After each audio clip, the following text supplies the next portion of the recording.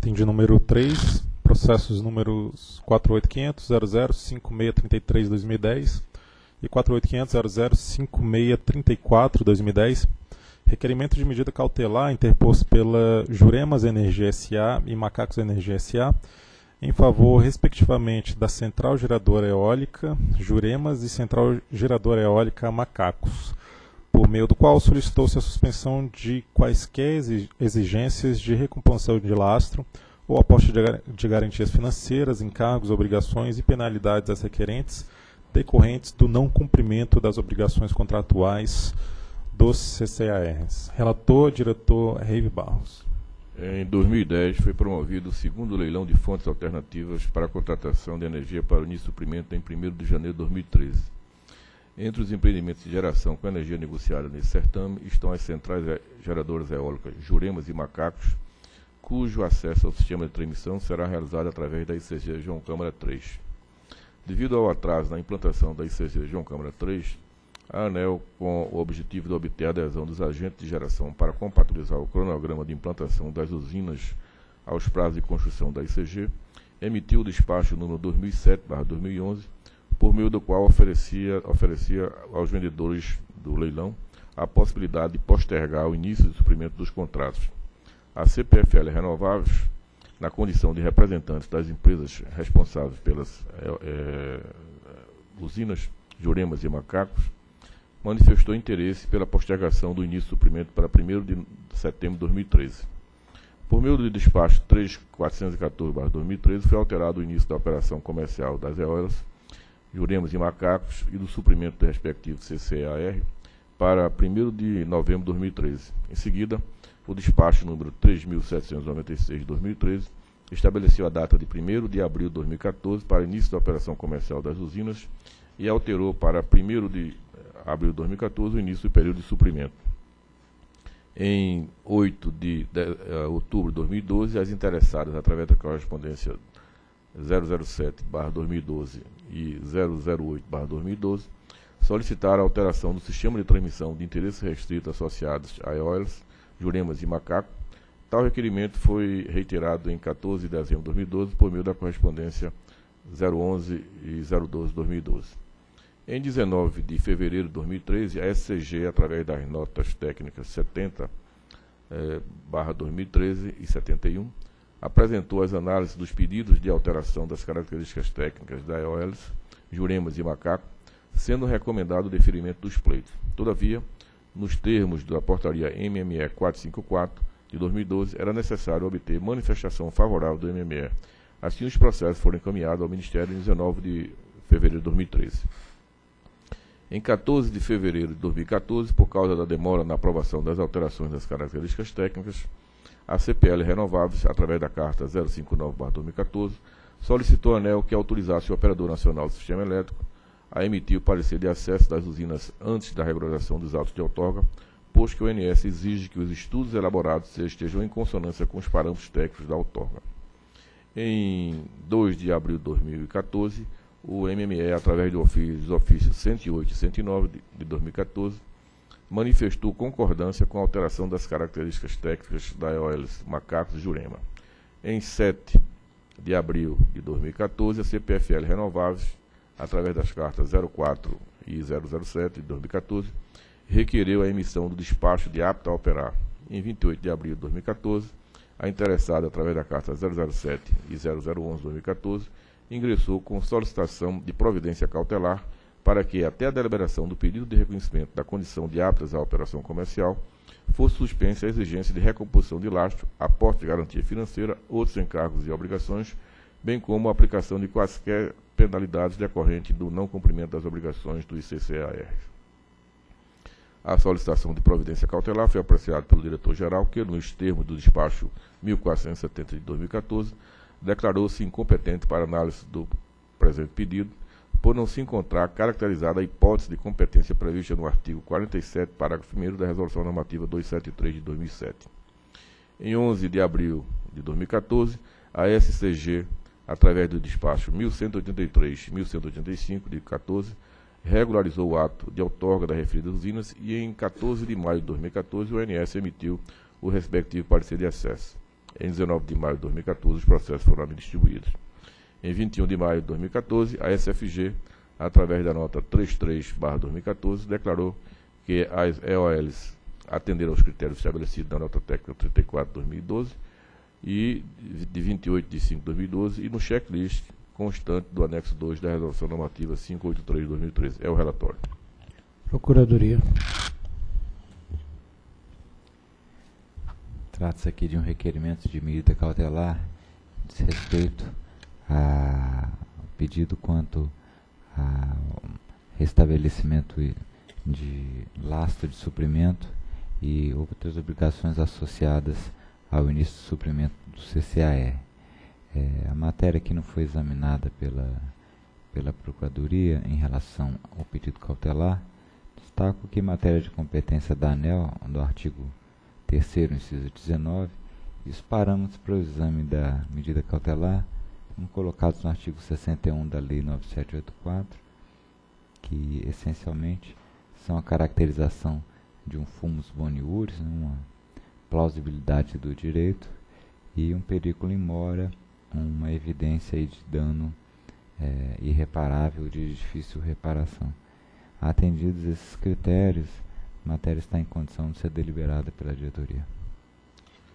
As eólicas encontram em situação semelhante às eh, Costa Branca e Pedra Preta, qual seja, comercializar energia no mesmo leilão, segundo leilão, pertencem ao mesmo grupo econômico, serão conectadas à mesma ECG, no caso João Câmara 3, e sofreram atrasos na análise das alterações de características técnicas. Os processos da EOLIS Costa Branca, do processo 48.500.005.546 de 2010, dígito 22, e o de Pedra Preta, 00555-2010, dígito 13, foram julgados na 16ª reunião da diretoria ocorrida em 13 de maio de 2014 Dadas as semelhanças entre os casos, transcrevo o trecho do voto proferido pelo diretor José Jurosa Júnior na ocasião. A descrição dos fatos já apresentados neste voto revela que a presença de externalidades negativas tem interferido no processo de implantação das eólicas Pedra Preta e Costa Branca e repercute automaticamente nos CCRs vinculados a esses parques eólicos. De início, o descompasso do planejamento da expansão da transmissão, que fez com que a transmissora responsável pelo ICG, João Câmara 3, e a Extremóis Transmissora do Nordeste S.A., tivesse a obrigação de disponibilizar esse ativo de transmissão a partir de setembro de 2013, enquanto que as usinas que teriam sua energia escoada para essas instalações deveriam entrar em operação comercial até janeiro de 2013, de modo a atender aos compromissos definidos nos referidos contratos. Depois, atraso de emissão de outorga e de assinatura do CCR resultou no deslocamento de dois meses do cronograma de implantação das usinas e do início do período de suprimento dos contratos regulados. Com a constatação de que o cronograma de implantação da ICG João Câmara 3 sofreria atrasos, e dado que o ritmo das obras das usinas sinalizava que a geração estaria disponível bem antes do sistema de transmissão, a ANEL buscou uma solução para reduzir o descompasso entre a implantação dos parques eólicos e a implantação da ICG João Câmara 3. Tal solução foi materializada através do despacho 3796 de 2013, que alterou de 1 de novembro de 2013 para 1 de eh, abril de 2014, a data de entrada em operação das usinas e o início do período de suprimento dos respectivos contratos. Afora todo esse aspecto, um elemento adicional com capacidade de se tornar outra externalidade negativa surgiu o processo de alteração das características técnicas. Conforme já relatado, a CPFL requereu em 8 de outubro de 2012 a alteração das características técnicas das eólicas, juremas e macacos, alteração essa cujo escopo consistia no reposicionamento dos aerogeradores no compartilhamento do sistema de transmissão de interesse restrito, tal pleito foi deferido em 11 de abril de 2014 por meio do despacho SZ é, 1183 de 2014 e 1185 de 2014. Importa transcrever novamente o trecho do voto do diretor José Jurosa, em qual o relator demonstra que a mudança do sistema de transmissão de interesse restrito representa uma adequação imposta por uma restrição existente no processo de cadastramento de usina no âmbito da EP pela inviabilidade técnica de acesso individual e CG João Câmara 3. Segundo a CPFL Renováveis, a concepção das EOLs Pedra Preta e Costa Branca sempre envolveu a questão de compartilhamento do sistema de transmissão de interesse restrito. Todavia, o sistema de cadastramento da EP, utilizado no processo de habilitação técnica para participação nos leilões regulados, não permite que esse tipo de informação, motivo pelo qual o ato de outorga dessa usina foi emitido estabelecendo que cada parque eólico faria uma conexão individual à ICG João Câmara 3. Ora, considerando que a ICG João Câmara 3, no seu arranjo original, terá um acesso de 28 parques eólicos, seria necessária a implantação de 28 BEI de conexão para permitir que cada usina isoladamente fizesse essa conexão. Para viabilizar essa configuração, a transmissora precisaria construir, no jargão da engenharia, um barramento infinito. Logo, o compartilhamento de instalação de transmissão sob responsabilidade dos geradores torna-se uma exigência, e assim surge a necessidade de ajustar o ato de outorga para refletir essa nova realidade. Em que pese não existir complexidade no escopo das alterações de característica técnica das eólicas Juremas e Macaco, o processo de análise dessa alteração levou cinco meses na ANEL e 14 meses no MME, tendo este último declarado em 2 de abril de 2014 que concorda com as conclusões de análise promovida pela ANEL em fevereiro de 2013, que, portanto, tais alterações deveriam ser autorizadas. No histórico de análise de alterações de característica técnica, apesar dos prazos terem sido elevados, até agora não surgiu nenhuma recusa da mudança de característica técnica. É importante que esse processo seja revisto, porque o tempo de aprovação, de alteração de característica técnica tem sido muito elevado. Nós pretendemos fazer uma consulta ao IMME no sentido de avaliar se realmente é, o, o que é que pode ser feito para reduzir esses prazos de avaliação de análise das características técnicas. Após a manifestação favorável do MME, a SCG emitiu, em 11 de abril de 2014, os atos que promovem a regularização do ato de outorga nas referidas usinas. E pelo fato de que a ANEL não se pronunciou a respeito do pedido formulado pela CPF Elanvago em fevereiro de 2014, referente à autorização para o INSS emitir o parecer de acesso antes da aprovação das alterações de característica técnica, o operador retomou o processo de elaboração de parecer de acesso somente após a publicação do ato CG. Em razão disso, o parecer de acesso foi emitido em 14 de maio de 2014. Ou seja, o, o, o, agente ele foi diligente, porque desde fevereiro ele solicitava que fosse a ANEL autorizasse a ONS a emitir o, o parecer de acesso. E evidentemente que o ONS é, é manteve a posição dos requisitos legais de aguardar a decisão da, da outorga.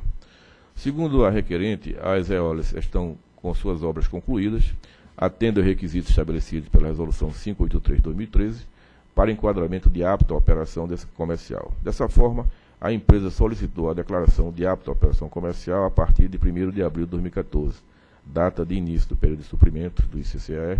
Entretanto, em 1 de abril de 2014, os agentes de geração não atenderam aos dois requisitos de checklist da SFG, ou seja, tem implantado as usinas em conformidade com os parâmetros técnicos constantes das outorgas, dado que a regularização da outorga ocorreu apenas em, 1 de, em 11 de abril de 2014 e o INS ter emitido parecer de acesso das usinas, o que ocorreu apenas em 14 de maio de 2014. Entendo que não seria adequado imputar a CPFL renováveis o descompasso entre a implantação das EOLs Juremos e Macaco e a regularização dos atos de outorga e a emissão de parecer de acesso, pois o atraso na aprovação das alterações de característica técnica, especialmente em relação ao sistema de transmissão e de interesse restrito, provocou a demora na obtenção das condições para que o agente fosse declarado apto a operar. Em termos de implantação das obras, a Agência Reguladora do Serviço Público do Rio Grande do Norte eh, realizou fiscalização nas EOLs em 21 de, mar de março de 2014 e declarou que as obras estão 100% concluídas, restando apenas o lançamento do BEI de conexão, o qual dependia da liberação de ordem de serviço da transmissora responsável pela ICG, no caso a ETN. Da ótica da CPFL Renováveis, a discussão sobre o reconhecimento de apto da operação comercial é relevante, visto que uma manifestação favorável da ANEL tem um condão de isentar o agente de promover a recomposição de lastro para o mês de abril de 2014, garantir o recebimento da receita fixa definida no ICCR, dada a exigência de cláusula contratual que confere ao agente vendedor o direito de receber receita em caso de atraso das instalações de transmissão necessárias ao escoamento da energia produzida pelas eólicas. Por falar nessa cláusula contratual, é oportuno ressaltar que o fato das eólicas Juremos e Macaco terem alterado o bem de conexão da ICZ João Câmara 3 não afasta a aplicação da subcláusula 5.12 do ICCR vinculados a essa usina, posto que essa alteração do BEI de conexão nada mais é do que uma decorrência de um processo de busca de um arranjo que viabilize o acesso de 28 usinas na mesma pichação, ou seja, os, a, os agentes estão compartilhando a utilização de um mesmo BEI. Dos elementos disponíveis para esse julgamento, concluo que cabe ao afastamento da exigência de apresentação de parecer de acesso pelas seguintes razões. Primeiro, o cumprimento desse requisito seria facilmente alcançado caso não se tivesse ocorrido uma demora significativa no processo de aprovação de alteração das características técnicas. Segundo, a CPFL Renováveis requereu em fevereiro de 2014 que a ANEL autorizasse o INS a emitir o parecer de acesso antes da aprovação das alterações de característica técnica. Porém, esse pedido não recebeu a devida instrução processual. Há precedentes de escolas de no sentido de autorizar o INS a emitir parecer de acesso antes da conclusão do processo de regularização de outorga. O operador, por meio de mensagem eletrônica encaminhada em 8 de maio de 2014, declarou não existir pendência por parte dos agentes de geração e que o parecer de acesso já foi elaborado pela área técnica responsável, estando no aguardo da emissão pela diretoria do INS ainda nesta semana. O parecer de acesso foi, já teria sido emitido caso não houvesse uma demora significativa no processo de aprovação de alteração de características técnicas. Ao ter em perspectiva que a análise da SFG após essa deliberação será retomada após ter iniciado o suprimento do ICCR em 1 de abril de 2014, a CPFL Renováveis teria que tomar a decisão de recompor ou não o lastro para o mês de abril, dada a incerteza em relação ao resultado do processo de avaliação das condições das EOL Juremas e Macacos, em termos de enquadramento. E esse cenário de incerteza mantém-se a hipótese de concessão da medida cautelar. Portanto, mostra-se adequado avançar o julgamento para a questão do mérito, e nesse sentido, da consolidação de todos os elementos de análise trazidos ao longo deste voto, revela-se pertinente postergar por um mês, de, abril de, de 1 de abril de 2014 para 1 de maio de 2014, a data de início do período de suprimento do respectivo CCAR. Tal postergação, embora elimine a possibilidade do agente vendedor auferir receita no mês de abril, desfaz desse cenário de incerteza. Por outro lado, o afastamento da exigência de apresentação do parecer de acesso e para fim de reconhecimento do status de apto à operação comercial para o mês de maio de 2014 permite que a obtenção de declaração de apto à operação comercial dependa do cumprimento de requisitos sob gestão exclusiva do empreendedor. Ademais, conforme disposto na nota técnica 33/2014 da SFG, o precedente julgado em 13 de maio de 2014 e a emissão do parecer de acesso pelo ANS em 14 de maio de 2014, entendo que deve ser reconhecida a condição das EOLs Juremos e Macaco como aptas a operar. Diante do exposto de quem consta o referido processo, é, o referido processo, são dois processos, voto pela emissão de despacho conforme minuta anexa. Indeferir a solicitação de providência cautelar interposta pelas empresas Macaco Energia S.A. e Juremos Energia S.A., cujo objeto é a suspensão de exigência de recomposição de lastro, aporte de garantias financeiras, outros encargos e obrigações, bem como a aplicação de quaisquer penalidades decorrentes do não cumprimento das obrigações contratuais iniciadas em 1 de abril de 2014 até a deliberação do pedido de reconhecimento da condição das centrais geradoras eólicas, Juremos e Macacos, de aptas à operação comercial. Em alterar de 1 de abril de 2014 para 1 de maio de 2014, a data de início do período de suprimento dos contratos de comercialização de energia no ambiente regulado, atrelados às usinas mencionadas no item 1, mantido o prazo de suprimento de 20 anos. Estabelecer a possibilidade de afastamento de exigência de apresentação do parecer de acesso desde 1 de maio de 2014 das usinas listadas no item 1, do, no item I do rol de requisitos para enquadramento de apto à operação comercial nos termos da Resolução Normativa 583 de 2013. Declarar que o compartilhamento do sistema de transmissão de interesse restrito e alteração do meio de conexão dos parques eólicos referidos no item 1 não isenta o agente comprador dos CCRs atrelado a essa usina de pagamento de receita de venda. Voto ainda por determinar a 100, que elabore minuta de termo aditivo ao CCR para adequar disposições contratuais ao disposto no item 2 do dispositivo de voto. É o voto. Em discussão. Bem, você disse que documento até. Me lembro que tem já uma reunião programada para para amanhã, não é isso? É amanhã, amanhã que eu pedi, já está tá copiado você, eu pedi Deve ser a quinquagésima. É, essa aqui deve ser o seguinte, ô, meu, é, é, aquela que, você lembra que eu comentei semana passada, que ia marcar essa semana, mas ia juntar mais a app e tal, vamos ver se a gente fecha. Era, gostaria que você fosse também e o Rei fosse nessa. Era bom que a gente fosse, dá para... É, eu, eu, possivelmente vou ter dificuldade porque eu vou viajar, né? É, eu também vou viajar, então... É, se conseguisse é, antecipar... O teu voo é à tarde? É, na, é, parece que 17 e 20 é, Vamos ver então se a gente consegue dar uma mexida. Depois a gente vê. Eu é, também tá. até gostaria de participar. Tá. Para não ter que fazer a 51 primeira.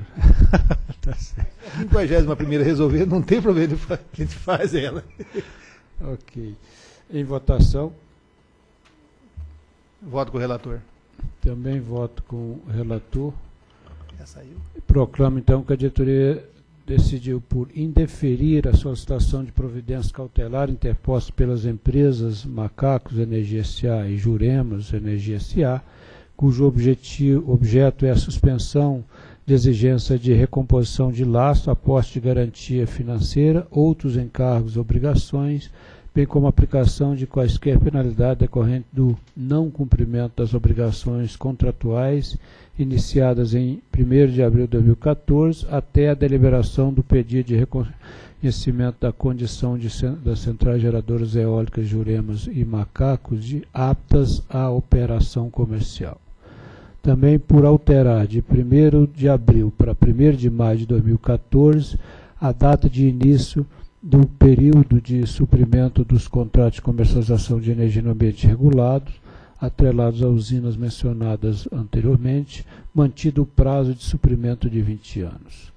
Estabelecer a possibilidade de afastamento da exigência de apresentação de parecer de acesso desde 1 de maio de 2014 das usinas já mencionadas, no rol de, de, de, requisitos para enquadramento de apta operação comercial nos termos da Resolução Normativa 583. Declarar que o compartilhamento do sistema de transmissão de interesse restrito e alteração do BEI de conexão dos é, parques eólicos referidos no item 1 não isenta o agente comprador do CCR atrelados a essas usinas de pagamento da receita de venda e, por último, por determinar a sem que a, elabore minuto de termo aditivo ao CCAR para adequar as disposições contratuais ao disposto no item 2 desse voto. Próximo item.